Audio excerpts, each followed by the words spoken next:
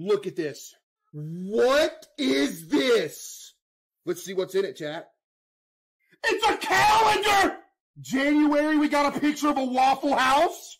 Okay.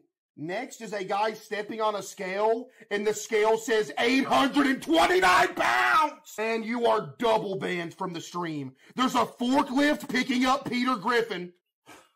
Yo. There's an extremely photoshopped picture of me jumping into a pool and then a tsunami taking out a city. You are canceled! And I'm cutting the stream off. September is a how to lower high blood pressure diagram. October, it's a life alert ad. I don't need a life alert!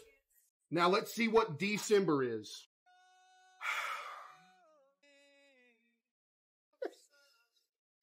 Yo, yo,